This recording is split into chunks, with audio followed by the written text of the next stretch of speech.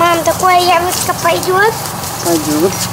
Маша помогает собирать урожай. Этот год богат на яблоки. Это значит, что сладости в доме будет хоть отбавляй. Вместе с мамой они делают из них полезное лакомство – яблочную пастилу.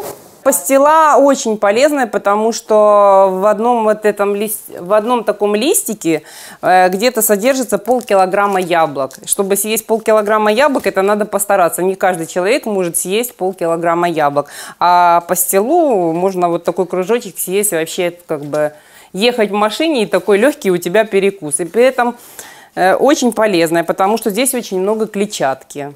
Здесь есть пектин. Изготовлением пастилы Виктория Кузина занимается уже 4 года. В ход идут не только яблоки с дерева, но и так называемые падалицы – плоды, упавшие на землю. Вмятины вкуса не испортят, уверяет кондитер. Почему? Если вот яблоко, оно упало, и у него вмятина, но это яблоко хорошее, у него нету гнили, оно целое это яблоко. Значит, оно пойдет у нас в запекание или целое, потому что мы всю массу делаем пюре с нее. Порезали и в духовку. Запеченные яблоки перерабатываются в пюре и раскладываются в специальные формы. Теперь понадобится терпение. Запекается пастила несколько часов. Пастила у нас готова. Готовится она от 12 до 14 часов. И у нас получаются вот такие красивые лиз... этих Листики, лист... листики, блинчики, да. Из яблочек. Из яблочек. На яблочный спас такое угощение придется ко столу. Для православных верующих этот праздник имеет особое значение. Яблочный спас – первый праздник урожая. По поверьям, в этот день лето разворачивается к осени. Пора собирать урожай и чествовать матушку-землю.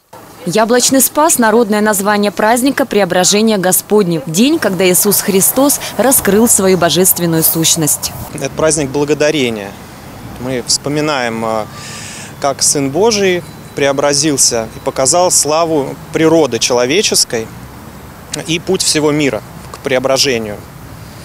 Э, и важно, что Священное Писание учит людей с древности вот этому э, пониманию мира.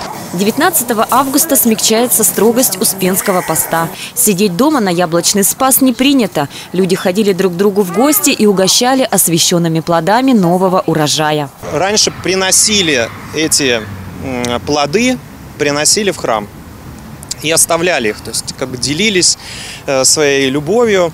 Э, а ну, здесь смысл не просто их покропить, и вот чтобы там не кашлять, не чихать. Да? Смысл именно, э, чтобы поделиться, э, и они символичны. То есть это как образ понимания того, что мы от Бога получили какие-то дары, таланты, наш урожай, и можно поблагодарить за все в этот день. Освящение плодов совершается после божественной литургии в каждом храме Одинцовского округа. Полина Бахова, Артем Ломоносов, телекомпания «Одинцова».